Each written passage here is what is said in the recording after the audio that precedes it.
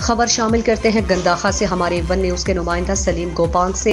मुमताज़ सियासी और कबायली शख्सियत नवाबजादा मीर मोहम्मद जाफ़र खान मगजी ने कहा है कि आवाम की खिदमत हमारा नस्मुल ऐन है, इलाके की आवाम के मसाइल के हल के लिए तमाम वसाइल बरुए कार लाए जाएँगे। मगसी बरदरी अपनी छोटी मोटी रंजिशों का खात्मा करके इलाके में भाईचारे की फ़जा को कायम रखे, क्योंकि कबायली रंजिशों का खात्मा करके ही इलाके में अमनो अमान बहाल और तरक्की की राहें खोली जा सकती हैं।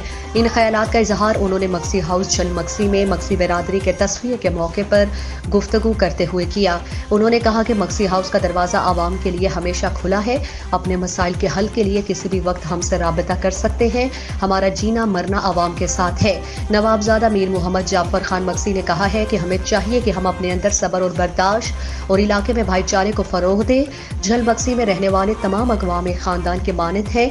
हमें अपने तमाम रंजिशों को ख़त्म करके इलाके की तमीर तरक्की और खुशहाली के लिए काम करना होगा। इस मौके पर कबायली शख्सियत मौरान खान मक्सी भी उनके साथ थे।